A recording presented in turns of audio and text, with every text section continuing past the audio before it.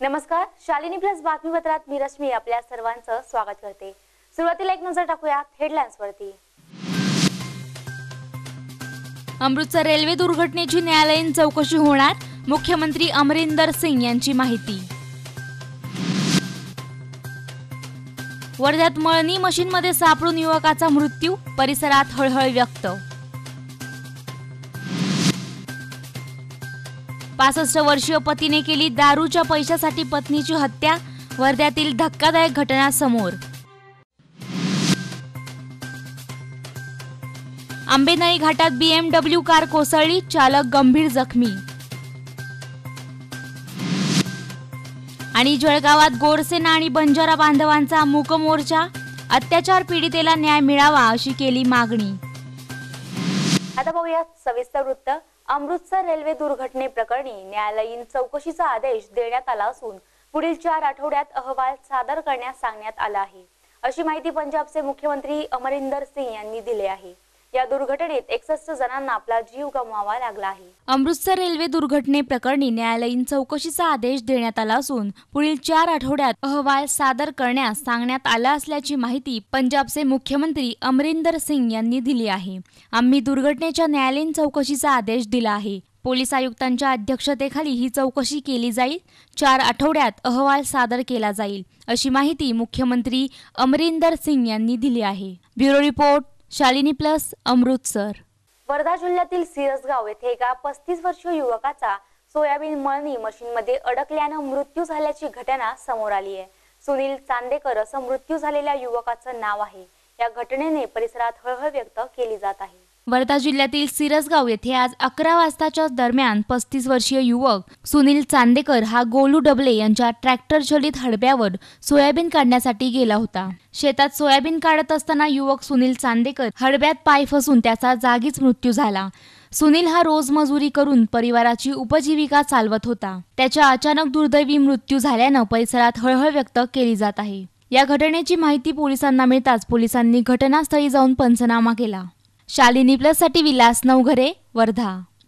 काही दिवसापूर्वी रत्नागिरी येथील दापोली कृषी विद्यापीठाची सहल घेऊन जाणारी बस महाबळेश्वर पोलादपूर मार्गावरील आंबेनळी घाटातून खाली कोसळली होती. त्यामध्ये तीस जणांचा मृत्यू झाला होता. त्याच ठिकाणी शनिवारी सकाळी एक बीएमडब्ल्यू कार पन्नास फूट खोल दरीत कोसळली. यामध्ये चालक गंभीर जखमी झाला आहे.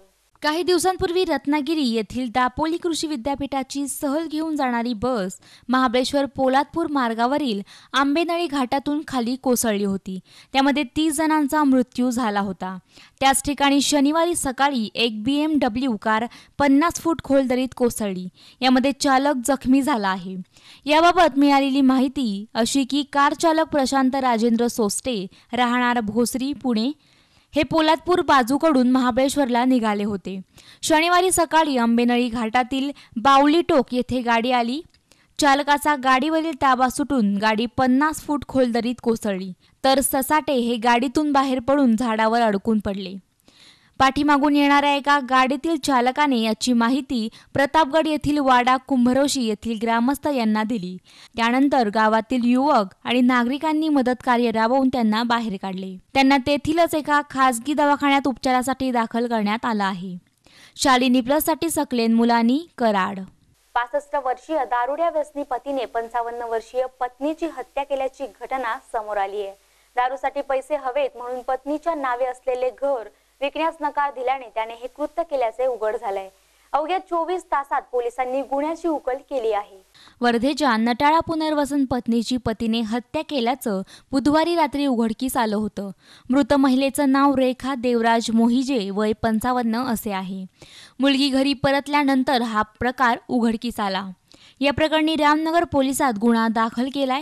दारुड्या व्यसनी देवराज पतीने आपल्या पत्नीला जिवे मारण्याचा प्रयत्न आधी सुद्धा केला होता. त्याचाही गुन्हा दाखल आहे. दारूच्या नशेमध्ये आईला खूप जोर द्यायचे की घर विकायचं आहे तुझ्या नावावर घर आहे तुझी साईन दे नाही तर मी तुला मारून टाकील.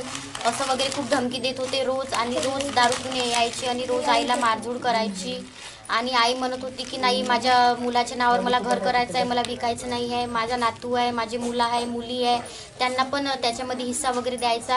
ह्या गोष्टीसाठी माझ्या बाबांनी माझ्या आईला मारले.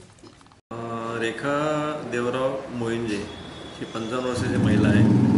या महिलेला तिचाच पती देवराव याने मर्डर केलेला आहे. मर्डर जो आहे हा तिचा पती दारू पिण्याचा सोयीचा होता. आणि त्याचे नेहमी प पत्नीसोबत वाद व्हायचे त्यांना पाच मुली आणि एक मुलगा आहे सर्वांचे लग्न झालेले आहेत. हे दोघंच पती पत्नी राहत होते आणि एक मुलगी जी नवऱ्याकडे त्रास असल्यामुळे त्यांच्याकडे येते ती तिघंजणं राहत होते. घटनेच्या दिवशी सकाळी पती पत्नीमध्ये वाद झालेला होता. मुलगी त्याची त्यावेळेस हजर होती.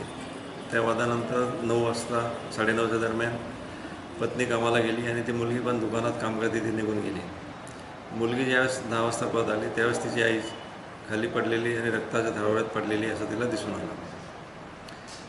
त्याच्या फिर्यादीवर मुलीच्या गुन्हा दाखल करण्यात आला. कलम तीनशे दोन प्रमाणे तिच्या वडिलाविरुद्ध सदर वडला आरोपी युद्ध जी मृतक बाई आहे हिने सन दोन हजार सोळामध्ये तिला चाकूने मारल्याची पोलिसांना तक्रार दिली होती आणि त्यामध्ये तो अटक झाला होता आणि तो गुन्हाही त्याच्यामध्ये नोंद आहे. हा एम एस सी बीमध्ये लाईनमॅन म्हणून काम करत होता. तो रिटायर झालेला आहे. आणि रिटायरमेंटनंतर दारू प्यायचा जास्तीत अधीन झाला आणि काही त्याचे इलिसिट रिलेशन असावे असंही माहिती मिळालेली आहे. तर त्या दादरानंच तो मर्डर झाला असं असं आम्हाला प्राथमिकदृष्ट्या वाटत नाही. पत्नीच्या हत्येप्रकरणी गुन्हा नोंद असलेल्या दारुड्या पतीने आत्महत्येचा प्रयत्न केलाय. पोलिसांना समोर पाहून स्वतःजवळील चाकू पोटात भोगसून घेतला. आत्महत्येचा प्रयत्न करणाऱ्याचं नाव देवराव मोहिते राहणार नटाळा पुनर्वसन असं आहे. घटनेत गंभीर जखमी झालेल्या देवरावर रुग्णालयात उपचार चालू आहेत. शालिनी प्लससाठी विलास नवघरे वर्धा. जळगावात चार वर्षीय चिमुडीवर झालेल्या अत्याचाराच्या निषेधार्थ गोरसेना आणि बंजारा बांधवांतर्फे निषेध मूक मोर्चा काढण्यात आला. विशेष म्हणजे या मोर्चात शहरातील तृतीय पंथीयांनी देखील सहभाग घेतला आहे. यावेळी मोर्चेकऱ्यांनी याबाबतची सुनावणी फास्ट ट्रॅक कोर्टात चालवावी अशी मागणी केली आहे. जळगावात चिमुरडीवर झालेल्या अत्याचाराच्या निषेधार्थ गोरसेना आणि बंजारा बांधवांतर्फे निषेध मोर्चा काढण्यात आला. शहरातील शिवतीर्थ मैदानापासून ते जिल्हाधिकारी कार्यालयावर हा मुक मोर्चा काढण्यात आला. या मोर्चात बंजारा समाज बांधवांसह महिला वर्ग मोठ्या संख्येने उपस्थित होता. या घटनेची न्यायालयीन प्रक्रिया ही फास्ट ट्रॅक कोर्टात चालवावी. या खटल्यासाठी विशेष सरकारी वकील ॲडव्होकेट उज्ज्वल निकम यांची नियुक्ती करावी अशा अनेक मागण्या यावेळी करण्यात आल्या. मागण्या पूर्ण न झाल्यास समाज बांधवांतर्फे तीव्र आंदोलन छेडण्यात येईल असा इशारा देखील देण्यात आला. आज आम्ही या जिल्हाधिकारी कार्यालयावरती कोरसेनेच्या वतीने व समस्त बंजारा बांधव यांच्या वतीने कालच्या दिवशी जी घटना घडली आहे त्या घटनेचा तीव्र शब्दात निषेध करतो. आणि त्या निषेधार्थ आम्ही आजचा हा मोर्चा जिल्हाधिकारी यांच्यासमोर आणलेला आहे. सदरचा जिल्हाधिकारी साहेब यांना आम्ही निवेदनातर्फे निवेदन अंतर्गत सांगू इच्छितो की सदरचा जो खटला आहे हा खटला फास्ट ट्रॅक कोर्टमध्ये चालवण्यात यावा. आणि सदरचा खटला चालवणे कामी मान्य माननीय सरकारी विशेष सहकारी वकील मान्य माननीय उज्ज्वल निकम साहेब यांची नियुक्ती व्हावी व सदरचा चिमुरडीला जो अत्याचार झालेला आहे या अत्याचारातून तिला न्याय मिळावा समस्त बंजारा समाजाची ही मागणी आहे आणि ती मागणी अत्यंत लवकरात लवकर त्यांनी पूर्ण करावी. तसं न झाल्यास गोर बंजारा या सामाजिक चळवळीमध्ये समाजात चालवली जाणारी सामाजिक चळवळ आहे. गोर सेना व गोर शिपाडी यातर्फे समस्त महाराष्ट्रभर महाराष्ट्रभरच नव्हे तर पूर्ण संपूर्ण देशामध्ये तीव्र आंदोलन छेडण्यात येईल. तसेच शहरातील तृतीय पंथीयांनी मोर्चात सहभागी घेऊन प्रशासनास निवेदन दिले. आरोपीस कठोर शासन करून फाशीची शिक्षा द्यावी अशी मागणी यावेळी करण्यात आली. की एक साधारण लहानीशी मुलगीवर एक बलात्कार केस केला आहे तसे तर आम्ही त्या असं म्हणतोय पोलिसांना म्हणावं कलेक्टर साहेबांना हे निवेदन द्यायसाठी आले होते की त्यांना फाशीची शिक्षा व्हावी. का एवढीशी मुलगी आता सुरक्षित नाही आहे तर आमच्यासारखे माणसं बी सुरक्षित नाही आहेत आम्हाला बी गुंडे लोक त्रास देता हे करता. आज एवढीशी पोरगीवर एवढा मोठा अत्याचार केला त्या माणसाला फाशीची शिक्षा व्हावी. भारत देशमध्ये एवढे बलात्कार होत आहेत ते बी लहान मुलींवरच होत आहेत कारण ते लोक नाही हे मुली सुद्धा सुरक्षित नाही बाया सुरक्षित नाही कोणी नाही या जगात सुरक्षित आहेत. मग आमचे सारखे येजडे काय सुरक्षित राहणार आहेत? पोलिसांनी काहीतरी कारवाई लवकरात लवकर करावी साहेबांनी बी लवकरात. शालिनी प्लससाठी हेमंत पाटील जळगाव. उभ्या महाराष्ट्राचे लोकदैवत असणाऱ्या खंडेरायाच्या जेजुरी नगरीत दरवर्षी पारंपरिक पद्धतीने मर्दानी दसऱ्याचे आयोजन करण्यात येते. तब्बल अठरा तासांपेक्षा जास्त काळ हा सोहळा गडावर चालतो. दरम्यान खंडा तलवारीचा मर्दानी खेळ हा सर्वांचाच आकर्षणाचा विषय असतो. पाहूयात ही बातमी.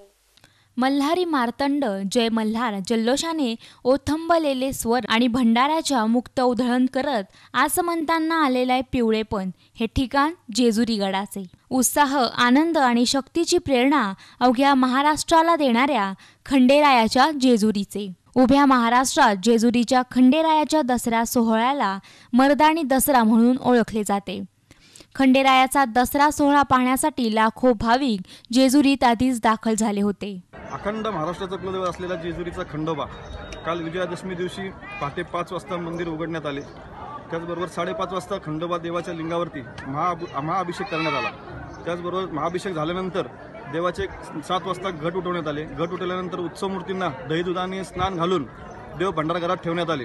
त्याच्या त्याचबरोबर सायंकाळी सहा वाजता पालखीचे प्रस्थान रमण्याकडे झाल्यानंतर कडेपठाराची पालखी वर्षातून ती जुन्यागडाची जुन्या पालखी वर्षातून एकदाच निघत असते.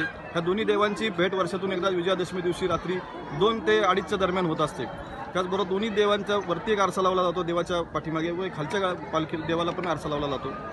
आरसा लावल्यानंतर फटाक्याची आताशबाजी. व भुंदळ्यांची आकर्षक अशी रोषणाई करताना देवाची ती भेटाभेट होत असते. त्याचबरोबर भेटाभेट झाल्यानंतर आपटापूजन करण्यात आले साडेतीन वाजता. आपटापूजन झाल्यानंतर पालखी जे- जुनी जेजुरी व महाद्वार मार्गे मंदिरामध्ये नेण्यात आली.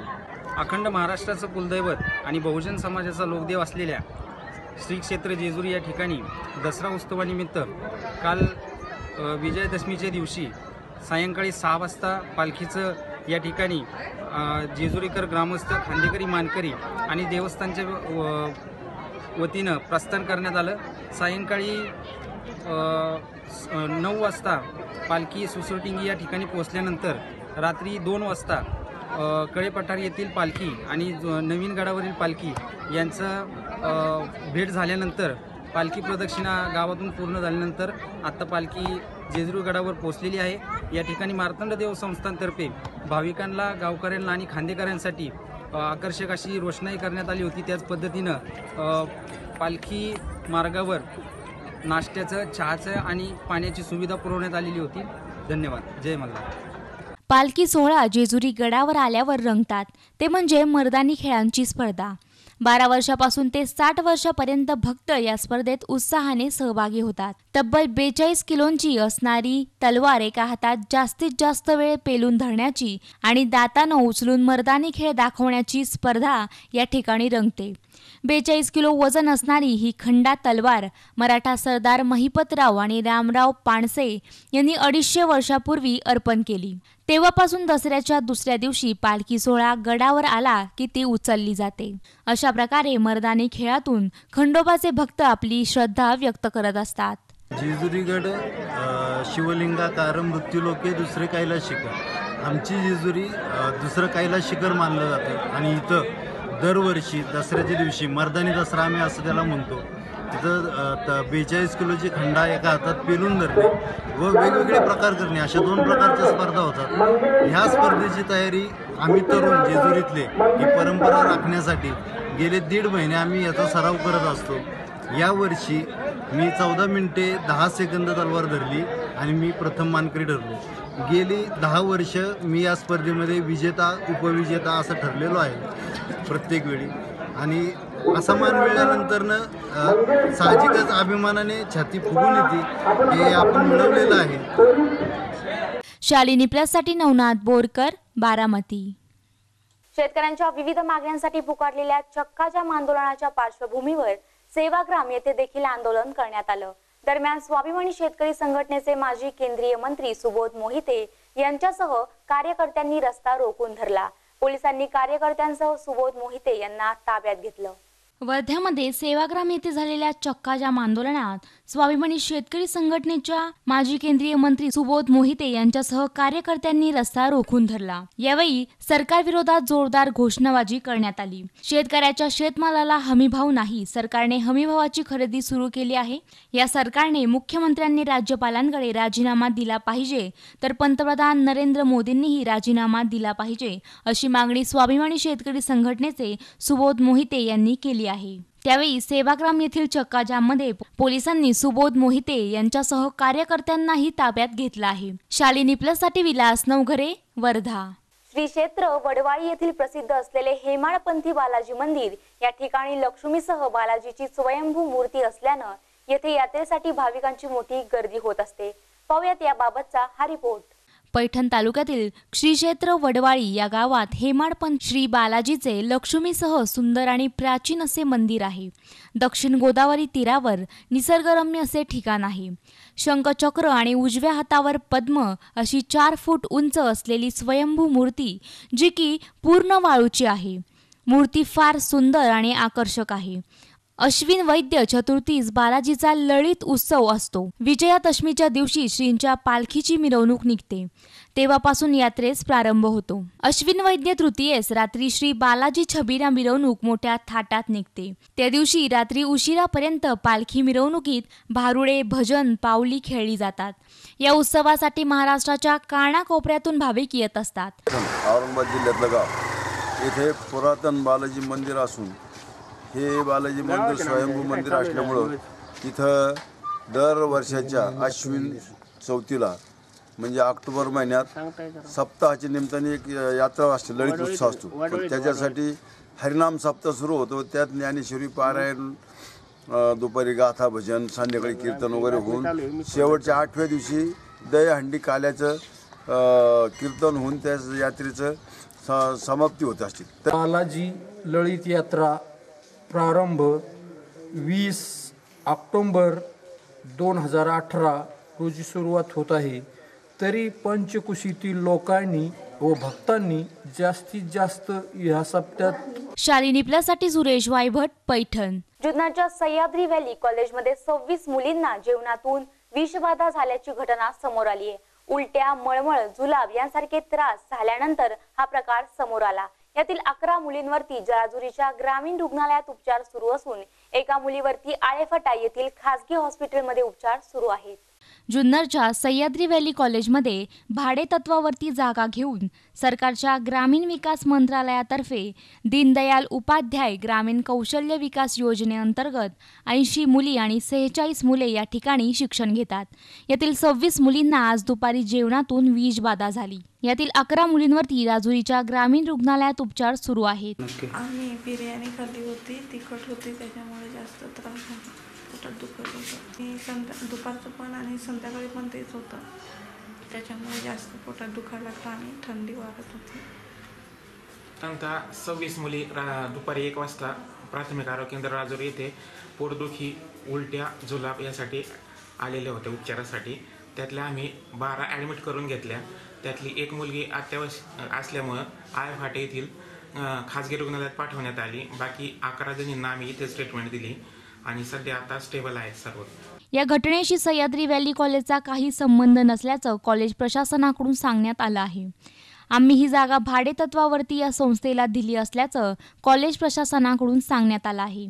या मुलींना नक्की कॉलेज हॉस्टेलमधील जेवण खाल्ल्यानं विषबाधा झाली की बाहेरील काही खाल्ल्यानं विषबाधा झाली याचा तपास करणं गरजेचं आहे. या प्रकरणी आळेफाटा पोलीस या घटनेचा तपास करत आहेत. अ, खरं तर आम्ही राजुरीमध्ये एक सह्याद्री कॉलेजमध्ये आम्ही एक फ्लोर भाडेतत्वावर घेतलेला आहे. तसं बघायला गेलं तर या प्रकाराशी सह्याद्री व्हॅली कॉलेजचा काही संबंध नाही आहे मी जो प्रोजेक्ट चालवतोय आमच्या मॅनेजमेंटकडनं जो प्रोजेक्ट चालवला जातो तो ग्रामीण विकास मंत्रालयातर्फे दीनदयाल उपाध्याय ग्रामीण कौशल्य विकास योजना. त्या योजनेअंतर्गत काही मुली इथे आहेत ऐंशी आणि मुलं आहेत काही शेहेचाळीस अशी मुलं आहेत जी मुलं काल दसऱ्यासाठी काही घरी गेली होती. आणि काल त्यामुळे मेससाठी मुली आराम करत असल्यामुळे त्यांना जेवण तर पाठवलं होतं पण त्यांनी वेळेवर घेतलं नाही घेतलं. हे त्यांना सांगितलं होतं तरी सुद्धा त्यांनी थोडंसं अनियमितता झाली. त्यामुळे त्यांना उलट्या आणि जुलाबाचा त्रास व्हायला व्हायला लागला. सकाळी आल्यानंतर तो जास्त जाणवायला लागल्यानंतर आम्ही त्यांना गव्हर्नमेंटच्या हॉस्पिटलला राजुरी इथे ॲडमिट केलेलं आहे. आणि काय आता मी एक पाच मिनिटापूर्वी मुलींकडनं जाऊन आलोय. सगळ्या व्यवस्थित आहे. ज्याच्यामध्ये एका याची जी प्रकृती चिंताजनक होती तीही सुद्धा व्यवस्थित आहे. आणि मीडियाने असं सांगितलेलं आहे की सह्याद्री व्हॅली सह्याद्री व्हॅली तसं तर सह्याद्री व्हॅली कॉलेजशी आपला काहीही तसा संबंध येत नाही. त्यांच्याकडनं आम्ही भाडेतत्वावर तो ती जागा घेतलेली आहे. आणि आम्ही आमचे प्रोजेक्ट्स जे आहेत ते वेगळे आहेत. तर तरी सुद्धा कोणी सह्याद्री कॉलेजचं नाव पुढे आणू नये असं मला वाटतं. शालिनी प्लससाठी रुपेश चापुडे जुन्नर पुणे. बातमी पत्रात वेळ झाली आहे. छोट्याशा विश्रांतीची. विश्रांतीनंतर पुन्हा भेटूयात. तुम्ही पाहत राहा शालिनी प्लस. अरे मरी क्या? सॉरी सर मैंने आपको देखा नहीं। लेकिन मैंने आपको देखा। मैंने आपको पहचान भी लिया। मैं आपके पिताजी को बहुत अच्छी तरह जानता। बहुत महान इंसान थे। उनकी मैंने सारी किताबें पढ़ी हैं। मैं तो उनका बहुत बड़ा फ़ैन हूँ। सुबह ही मैंने उनकी फ़ोटो पर हार भी चढ़ाया। फ़ोटो? और मेरा बाप तो ज़िंदा है। तिलक साहब ज़िंदा है? तिलक? हाँ। अरे मेरे बाप का नाम रसिक लाल है। रसिकला लोकमान्य तिल ये आपके बाप का रोड नहीं है? तो फिर नो एंट्री पे एंट्री क्यों लिया आपने? मुझे माफ़ कर दीजिए। देखिए आपकी और सबकी सुरक्षा के लिए ट्रैफ़िक नियमों का कृपा करके पालन कीजिए। क्योंकि रोड किसी के बाप का नहीं है। वेरी गुड चलिए रिवर्स लीजिए। सड़क सुरक्षा जीवन रक्षा. विश्रांतीनंतर पुन्हा एकदा आपले स्वागत. आता पाहूया पुढील वृत्त. पुरंदर तालुका हा फळभाज्यांसाठी प्रसिद्ध तालुका आहे. पुरंदरच्या सासवडमध्ये सीताफळ अंजीर डाळिंब या प्रकारच्या फळांची विक्री उत्पादने घेतली जातात. येथील फळांना चांगला भाव मिळत असल्यानं शेतकरी देखील समाधानी आहेत पुरंदर तालुका हा फळबागांसाठी प्रसिद्ध तालुका म्हणून ओळखला जातो. सीताफळ अंजीर डाळिंब या प्रकारच्या फळांची विक्रमी उत्पादने या तालुक्यात होतात. ग्रामीण भाग असला तरी सीताफळ आणि अंजीर यांचा मोठा बाजार या सासवड ठिकाणी पहाटे तीन ते नऊ या वेळात मोठ्या प्रमाणात भरतो. विक्रेते आसपासच्या गावातूनच येतात मात्र ठोक दरात या फळाची आडत घेणारे व्यापारी हे पुणे मुंबई या ठिकाणावरून येतात. सध्या सीताफळ बाजार जोरात चालू आहे. एक कॅरेटला ठोक दर एक हजार प्रमाणे सध्याचा दर आहे. साधारण वीस किलो सीताफळ एका कॅरेटमध्ये बसतात. हात विक्रीवर सत्तर ते ऐंशी प्रति किलोचा भाव आहे. गेली दोन वर्ष बुरशी हा रोग सीताफळावर असल्यानं शेतकरी चिंतेत होते. यावर्षी सीताफळावर बुरशी या रोगाचं प्रमाण नसल्यानं बऱ्यापैकी शेतकरी हे यावर्षी समाधानी आहेत. सासवडमध्ये बेल बाजाराजवळ हा सीताफळ बाजार मोठ्या प्रमाणात भरतो. या बाजारामुळे सासवडमधील वाहतूक कोंडीला सासवडकरांना आणि प्रवाशांना सामोरे जावे लागत आहे. शालिनी प्लससाठी सुनीता कसबे पुरंदर. वर्धा जिल्ह्यातील गिरड येथे लोड शेडिंगमुळे त्रस्त झालेल्या शेतकऱ्यांनी विद्युत वितरणाचे कार्यालय गाठून अभियंत्यांच्या खुर्चीला निवेदन लावले आहे. तर बेशरमाची झाडे आणि फुले अर्पण करत सरकारविरुद्ध जोरदार घोषणाबाजी देखील केली आहे. वर्धा जिल्ह्यात मागील महिन्यापासून पावसाने अचानक दडी मारल्याने शेतकऱ्याच्या शेतातील उभे शेत पीक करपायला लागले आहे. या पिकाला वाचवण्याकरता ज्या शेतकऱ्यांच्या शेतात सिंचनाची व्यवस्था आहे ते शेतकरी पिकाला पाणी देऊन वाचवण्याचं शर्तीने प्रयत्न करत आहेत. एकीकडे आसमानी संकटांच्या चक्रव्यूहात फसलेल्या शेतकऱ्यांच्या पिकावर लोड शेडिंग आणि विजेच्या लपंडावामुळे सुलतानी संकट ओढवलं आहे. त्यामुळे विहिरीत पाणी असताना सुद्धा शेतकऱ्यांचं उभं पीक डोळ्यासमोर पाण्याविना सुकायला लागलं आहे. यामुळे त्रस्त झालेल्या शेकडो शेतकऱ्यांनी आज गिरड येथील विद्युत विभागाचे कार्यालय गाठले. तेथे एकही अधिकारी कर्मचारी हजर नसल्यानं शेतकऱ्यांनी सहाय्यक अभियंत्यांच्या खुर्चीला निवेदन चिपकवले. खुर्चीला हार चढवून बेशरमच्या झाडाची भेट देत आपला रोष व्यक्त केला. विद्युत विभागाच्या आणि सरकारच्या विरोधात जोरदार घोषणाबाजी करीत दिवसाच्या बारा तास अखंड वीज पुरवठा देण्याची मागणी यावेळी करण्यात आली. शेतको परिसरातील सर्व शेतकरी बांधव आज गिरड येथे शागा अभियंता ऑफिसमध्ये आले असता कुठलाही कर्मचारी व कुठलाही इंजिनियर इतर उपस्थित नव्हता. शेतकऱ्याला सतत आठ दिवसापासून सतत त्रास होत आहे. पाच पाच मिनिटांनी पाच पाच मिनिटांनी लाईन जात आहे आणि शेतकऱ्याला वेळोवेळी त्रास होऊन शेतकऱ्याचा मालाचं नुकसान भरपाई कोण देणार आहे? आणि सर्व शेतकरी शेकडो शेतकरी आमच्यासोबत आले आहे. आणि इथं कुठलाही अधिकारी निवेदन घेण्यास तयार नाही. पोलीस स्टेशनला गेलो असतात पोलीस स्टेशनला निवेदन दिलं. याच्याकडे कुणाचंही लक्ष नाही. कालपासून सतत पाच पाच मिनटात हे होऊन जवळपास परिसरातल्या पंचवीस ते तीस मोटारी जळाल्या आहे. त्याची नुकसान भरताय भरपाई म्हणून आम्ही ग्राहक मंचात जाऊन कोर्टात केस करू इलेक्ट्रिक अभियंत्यावर. कारण की वारंवार हा त्रास होत आहे. आणि याच्यावर कुठलेही खासदार आमदाराचं लक्ष नाही. परिसरात एवढा मोठा पहिलंच दुष्काळात शेतकरी वारंवार मरत आहे आणि तेवढं असून शेतकऱ्यावर कुठल्याही परिस्थितीत कुणाचं लक्ष नाही. जर सात दिवसाच्या आत जर याच्यावर लक्ष नाही दिले तर शेकडो कास्तकारी कास्तकार रस्त्यावर येऊन उपोषणाला बसणे असे मी गिरड ग्रामपंचायत सरपंच या नात्याने गावाच्या समोर आणि इलेक्ट्रिक डिपार्टमेंटला मी निवेदन देतो. कास्तकार असून आम्हाला रात्रीची चार दिवस लाईन आणि दिवसाची तीन दिवस लाईन मिळते. रात्री माणसाने कसं पाणी वलायला जावं हा प्रश्न आहे. काहून का आमच्या इकडं वाघाचा आणि डुकराचा हौसाद एवढ्या प्रमाणात आहे. रात्री पाणी वलायला गेले असता दहा दहा बारा बारा जनावर निघते. आणि पाणी वलता वलता साप विंचू इंगूर याच्यामुळं त्रास आहे. रात्रीचं पाणी कोण ओलू शकते? एखाद्या खासदारांना आमदारांना किंवा ऊर्जा मंत्र्यांना आमच्या वावरात येऊन रात्रीचं दोन तास जर पाणी जर ओलून दिलं तर मी त्याची जन्मभर एवढी मायामध्ये ताकद आहे. त्यांनी फक्त रात्री यावं दोन तास पाणी ओलून दाखवावं. आणि कोण्या पद्धतीनं? आणि रात्री जर डीपीवरचा फ्यूज गेला दिवो जळला तर तो कोण दुरुस्त करायला रात्री? काहून का पाच वाजताच्या नंतर इंजिनियर आणि कर्मचारी लोक आपापल्या घरी जाऊन झोपतात? आमचा फेज जर गेला तर रात्री कोणी टाकायचा? तो ऊर्जा मंत्री येणार आहे की एमबीसीपीच्या ऑफिसवाले कोण येणार आहे? अशी याच्यामध्ये काही नाही. सरकारचा सावळा गोंधळ आहे. सरकारचं कशावरही नियंत्रण नाही आणि आमचा या सरकारवर विश्वास राहिलेला नाही. सरकार सांगते कास्तकाराचं दीडपट आम्ही उत्पन्न वाढवणार आहोत. हे त्यांची हे दिसते परिस्थिती दीडपट उत्पन्न वाढवण्याची. त्याचं एकच धोरण आहे कास्तकार कास्तकार राहिले पाहिजे ते मेले पाहिजेत फक्त आम्हाला मतदान पाहिजे. मतदानाच्या व्यतिरिक्त कास्तकाराकडून कोण्या सरकारची अपेक्षा नाही. त्याच्यापेक्षा आम्ही यानंतर कास्तकार बंधू सर्व लोकांनी आम्ही तुमच्यावर मत मारण्याचा म्हणजे आम्ही बहिष्कार टाकणार. शालिनी प्लससाठी विलास नवघरे वर्धा. पंजाबमधील अमृतसर रेल्वे अपघाताच्या ठिकाणी गेलेले राज्याचे मुख्यमंत्री कॅप्टन अमरिंदर सिंग यांनी अवघ्या दीड मिनिटातच आपली भेट आटोपली. संतप्त नागरिकांनी घटनास्थळी जोरदार घोषणाबाजी देखील केल्याचं समजत आहे. पंजाबमधील अमृतसर रेल्वे अपघातातील मृतांची संख्या एकसष्ट वर पोहोचली आहे. या अपघाताच्या सोळा तासानंतर राज्याचे मुख्यमंत्री कॅप्टन अमरिंदर सिंग यांनी घटनास्थळाला भेट दिली. मात्र अवघ्या दीड मिनिटातच सुरक्षा रक्षकांच्या गराड्यात अमरिंदर सिंग यांनी आपली भेट आटोपली. यावेळी त्यांच्यासोबत स्थानिक आमदार आणि मंत्री नवज्योत सिंह सिद्धू देखील उपस्थित होते. रेल्वे अपघातानंतर संतप्त नागरिकांची घटनास्थळी जोरदार घोषणाबाजी सुरू आहे. सुरक्षा रक्षकांच्या फौज फाट्यात मुख्यमंत्री दाखल झाले मात्र रेल्वे रुळापर्यंत पोहोचू शकले नाही. त्यामुळे मुख्यमंत्र्यांना आपली भेट आवरावी लागली. Bureau report Shalini plus Amritsar शेतकऱ्यांच्या विविध मागण्यांसाठी स्वाभिमानी शेतकरी संघटनेने आज संपूर्ण राज्यभर चक्काजाम आंदोलनाची घोषणा केली. दरम्यान याच पार्श्वभूमीवर आज बुलढाणा जिल्ह्यात ठिकठिकाणी चक्काजाम आंदोलन करण्यात आलं. शेतकऱ्यांनी रस्त्यावर टायर जाळून सरकारच्या धोरणांचा निषेध केला. बुलढाणा जिल्ह्यात स्वाभिमानी शेतकरी संघटनेच्या चक्का आंदोलनाला सुरुवात झाली आहे.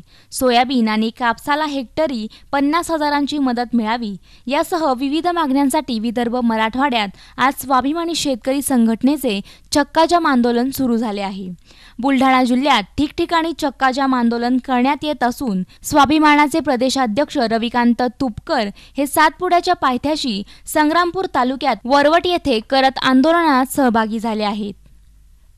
शालिनी प्लससाठी संदीप वानखेडे बुलढाणा. वाळवामध्ये शॉर्ट सर्किटमुळे लागलेल्या आगीमुळे शेतातील ऊसाचे पीक जळून खाक झाल्याची घटना समोर आली आहे.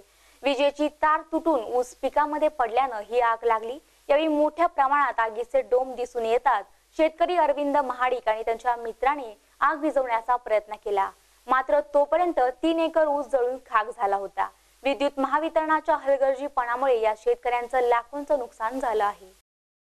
येलूर तालुका वाळवा येथील अरविंद महाडिक अर्जुन शंकर महाडिक सर्जेराव शंकर महाडिक जितेंद्र प्रकाश महाडिक भीमराव महाडिक आणि संभाजी निवृत्त महाडिक शेतकऱ्यांच्या शेतातील तीन एकर ऊसाचे पीक विजेच्या शॉर्ट सर्किटमुळे जळून खाक झाला आहे.